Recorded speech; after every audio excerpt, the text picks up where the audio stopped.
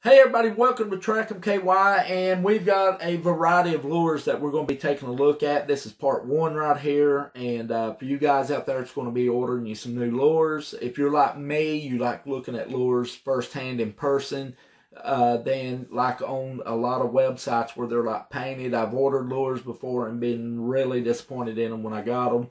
But the lures that we're going to be looking at through this series is Berkley and Strike King, very well known uh, and we're going to be looking at some jerk baits, some crank baits as well, and also a juke shad. But today we're going to start out in part one.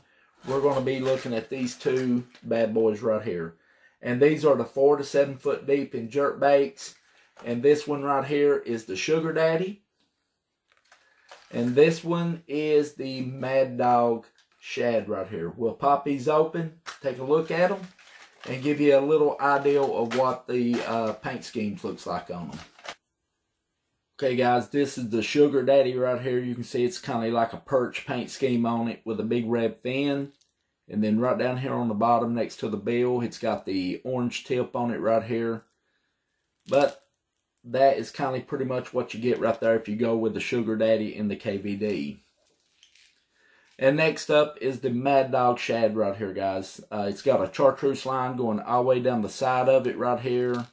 And also it's got a little pink up next to the bill. And then the chartreuse line runs from the front hooks all the way down to the back.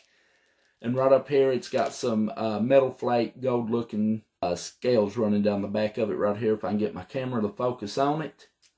But that is the Mad Dog Shad right there by the KVD jerk baits.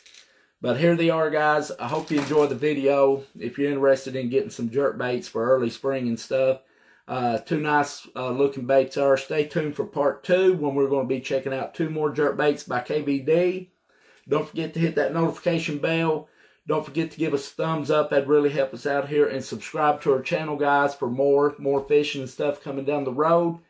And we will see you right here in the next one. Stay safe out there on the water. Have a great day.